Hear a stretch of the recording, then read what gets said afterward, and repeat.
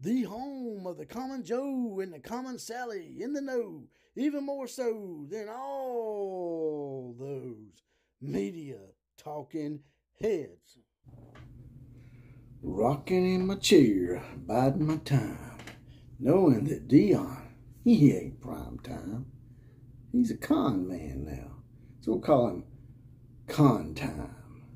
Deion Con Time. And Saban, quit apologizing, brother. If you mean something and you say something and you mean it, stick by it, man.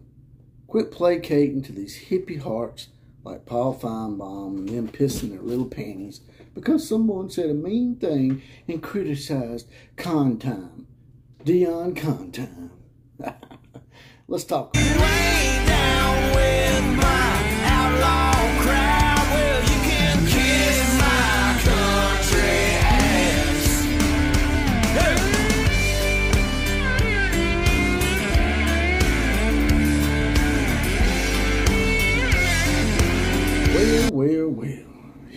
Again. It's another episode of the OCF. That's me, the Outlaw of College Football, also known as JPC. You can also find me on Facebook under Jesse Paul Clark. I'm easier to get in touch with via Facebook Messenger if you want to throw me some ideas and whatnot. Also, before we get started on this subject of the con man known as Deion and why Nick Saban should stop apologizing to said person, I'd like to ask you to like, share, comment, and subscribe to this channel. Because subscriptions are most important. They keep me up and going, keep me motivated.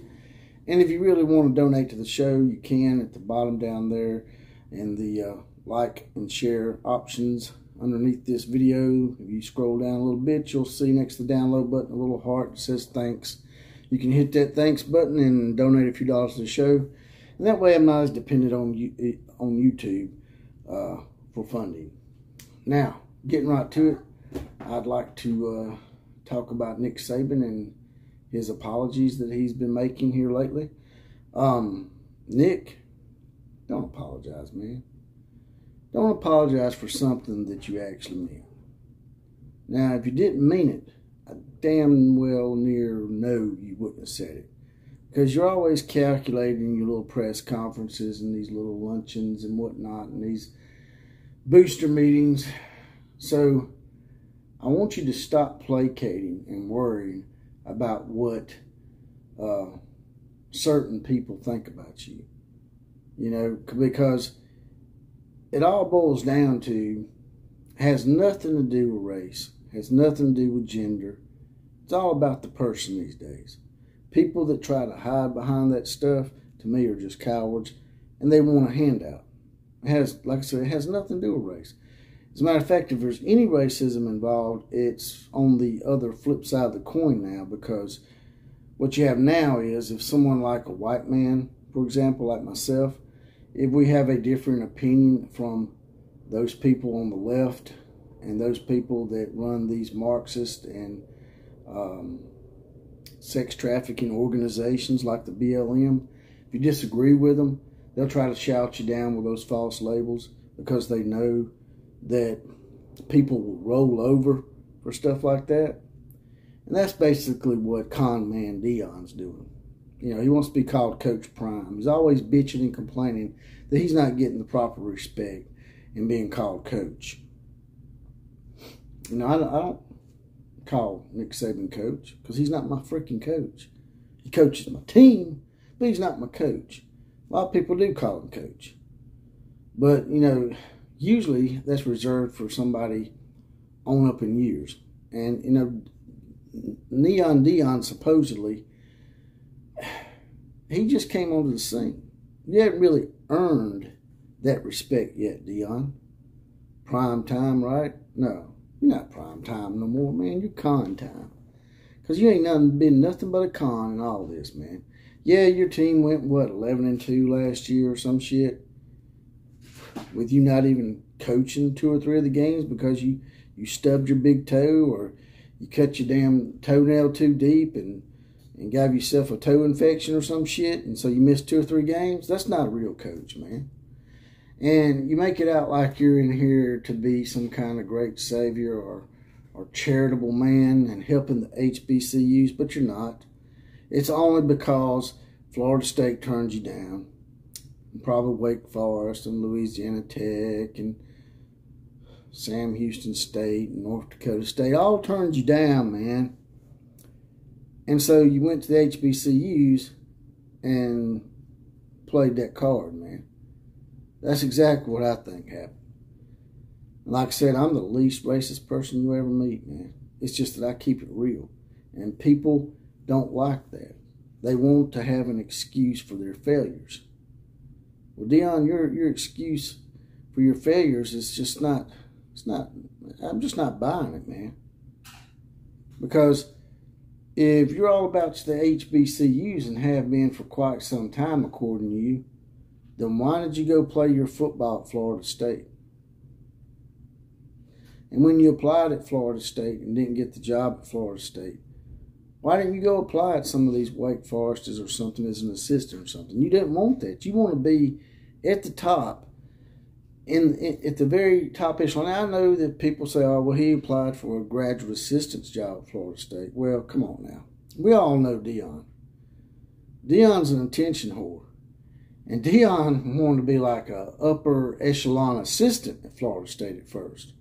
They forget to tell you about that. And see, he wants to come in at a, at a big level like that, knowing that he has a reputation that precedes him. So you got to earn your way, Deion. You got to prove that you're a mature individual. And you're going a long way right now and doing some of that by being the head coach of a team and going 11 and 2. Although, like I said, most of that can be attributed to your assistants taking over when you stubbed your toe. So I want you to stop, Saban, apologizing to someone that does not deserve it. Someone that they're trying to prop up for whatever reason. And just, he's a con man. And they're talking about, you got people out there like um, my buddy Kuz, uh, Justin Walker on Kuz's Corner talking about Alabama should be worried. Really? Worried about what, man? A team that didn't even make the top 100 in recruiting? We're supposed to be re, re, uh, concerned because Deion was able to con maybe two or three players out of 500 players to come play for him in some um, holier than thou grandstanding agenda that he has. When in reality, what's going to happen is Deion's going to get tired of this whole thing. It's like a toy to him. He's going to get tired of it, and then in about three or four years, he's either going to be out of coaching college football altogether and probably in a booth somewhere announcing games, or he's going to be given an opportunity at a higher level college coaching job, maybe a mid-tier college coaching job like a TCU or Wake Forest or something like that.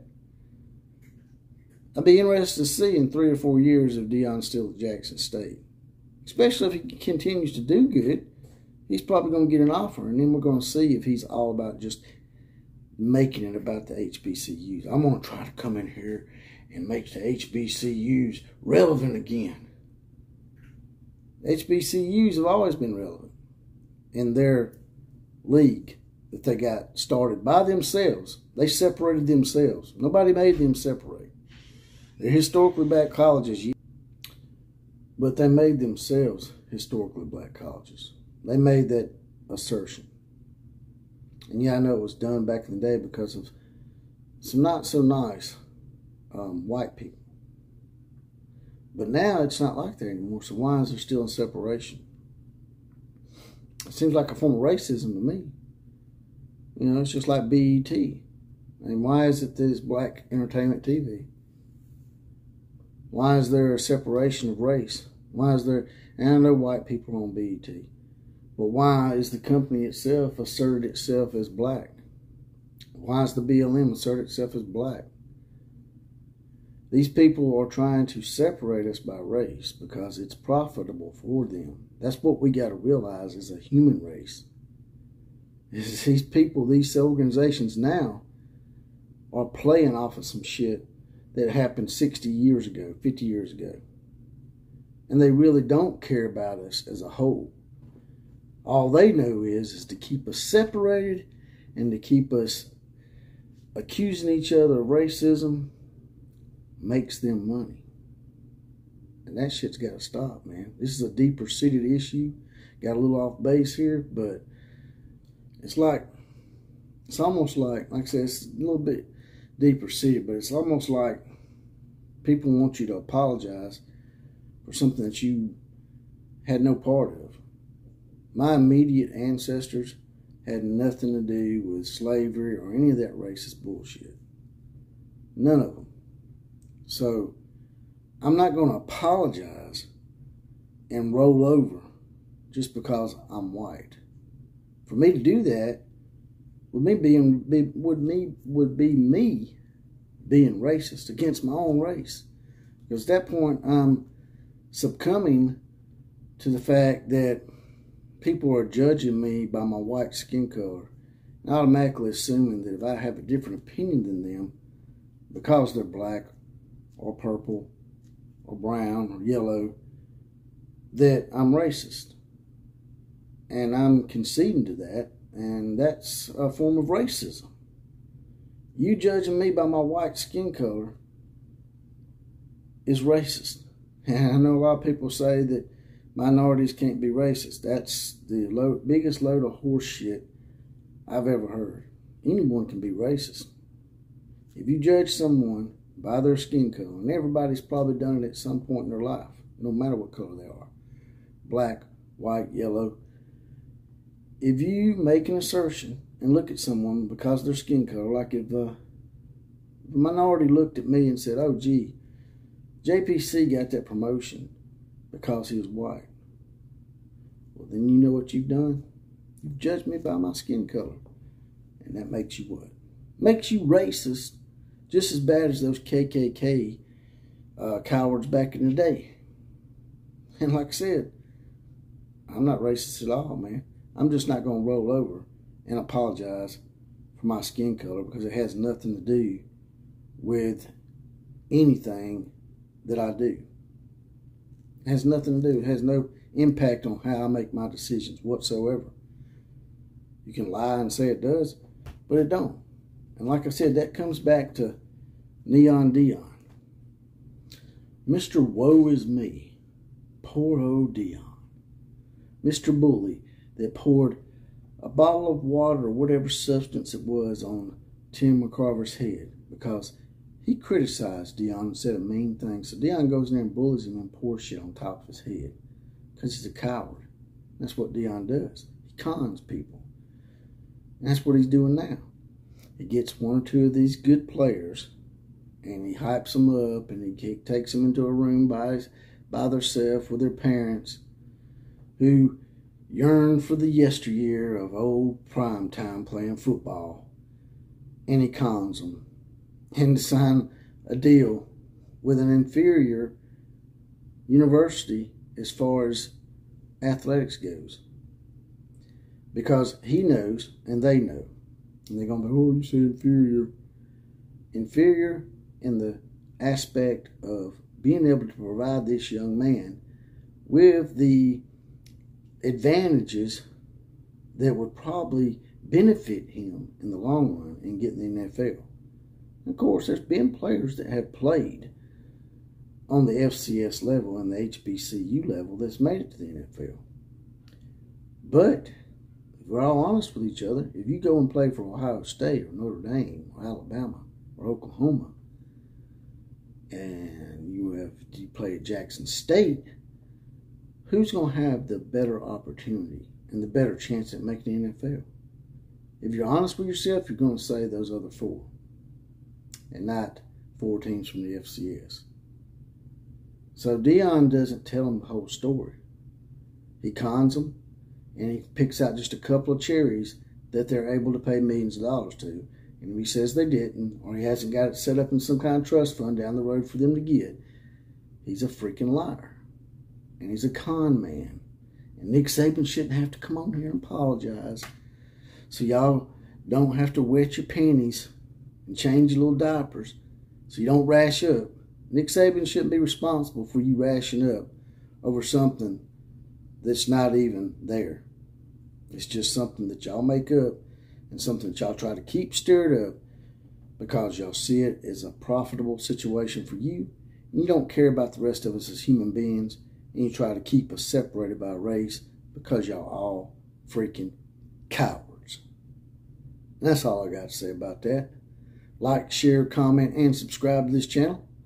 And as always, KMCA. Oh, and class is now dismissed.